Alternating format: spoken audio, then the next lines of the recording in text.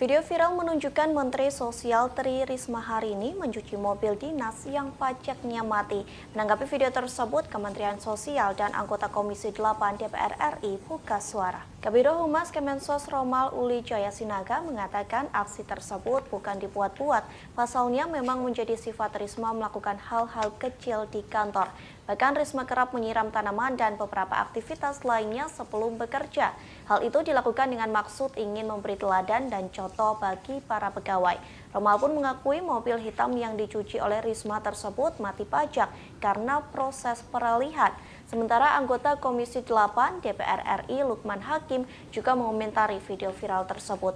Ia mengatakan publik harus melihat sisi positif dari tindakan yang dilakukan oleh Risma Bahkan Lukman menilai tindakan Risma menjadi penanda penting adanya reformasi birokrasi, sehingga pihaknya menilai tindakan Risma bukan sesuatu yang kurang pantas. Diketahui sebelumnya viral video Risma mencuci mobil dinas, aksi tersebut tersorot karena pajak mobil tersebut mati. Nampak Risma menggunakan baju putih dan celana hitam, kemudian video tersebut memperlihatkan Risma mencuci mobil menggunakan selang dengan sepatu boot berwarna merah.